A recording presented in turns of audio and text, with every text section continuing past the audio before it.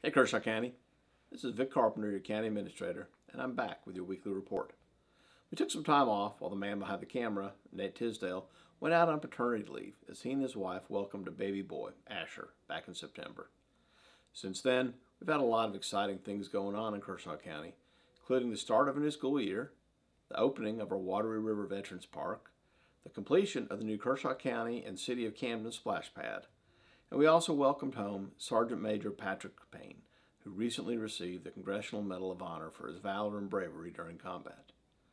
But we also have many things happening in the near future, like tomorrow's free TARP event at select Kershaw County convenience centers from 10 a.m. until 12 noon.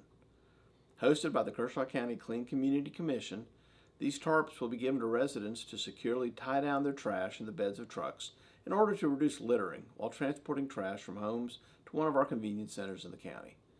Tarps are free, and they'll be available at the airport, Bethune, Black River Road, Elgin, Highway 97 Lake Wateree, Lugoff Lake Wateree, Lugoff, and Springdale convenience centers while supplies last. Also, if you're gearing up to vote in the November 3rd general election, Kershaw County voter registration is asking registered voters to make sure their voter information is current and up to date.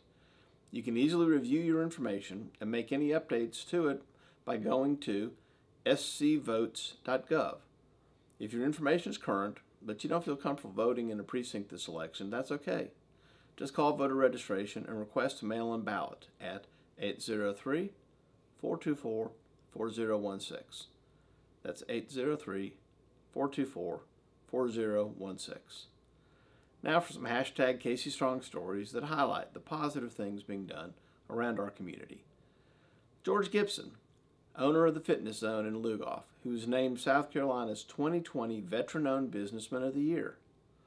Also, the Camden Rotary Club for hosting the annual Happy Feet event that gives deserving children a pair of shoes to start the new school year. And lastly, these dedicated volunteers who continue to make masks for the community medical clinic patients to use during visits to the clinic. There's so many positive things going on in our community to be proud of, and many great stories to tell you each week. I hope you'll take part in all the wonderful opportunities our community has to offer and give back any way you can. Stay strong, Kershaw County.